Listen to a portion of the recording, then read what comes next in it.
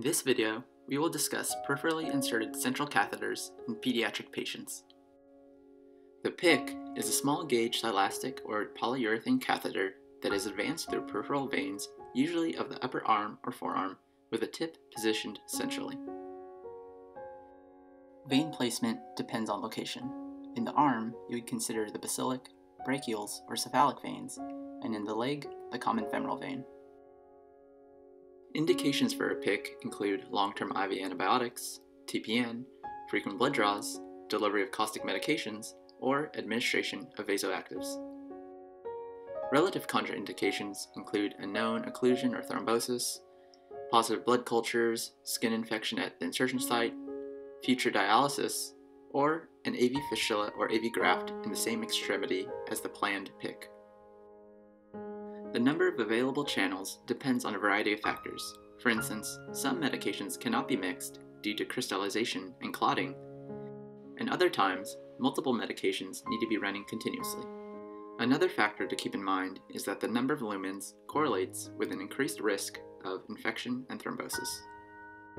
The unit of measurement describing a catheter's external diameter is French.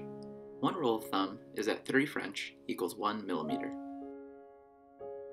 The choice of PICC is based on vessel diameter, which in turn is correlated with weight, age, and site selection. The larger the PICC size, the higher the risk of thrombosis.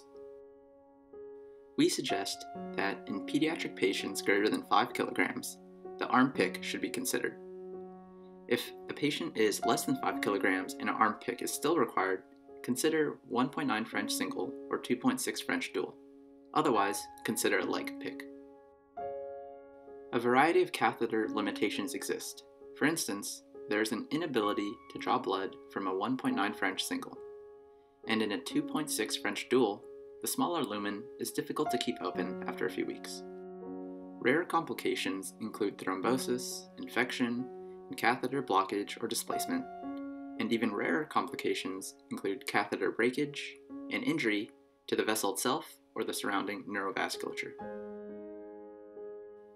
Shown here are the variety of items used for PICC placement.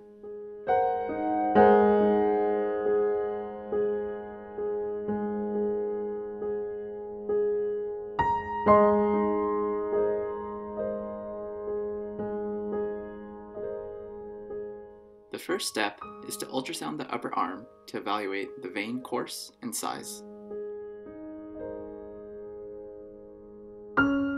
Inject lidocaine Insert the needle.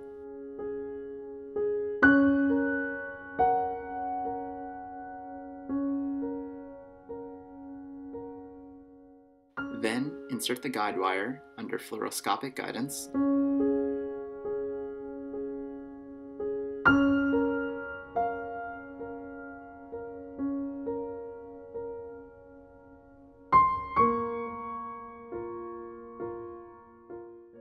Remove the micropuncture needle, followed by a small incision, and then place the peel-away sheath.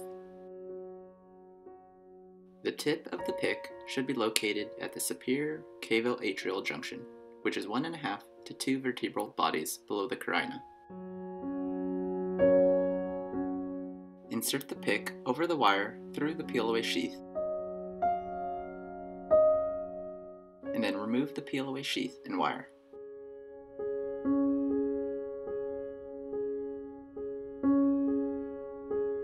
Flush the PICC with heparin.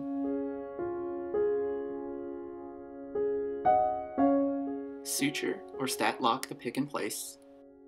And lastly, apply an overlying dressing.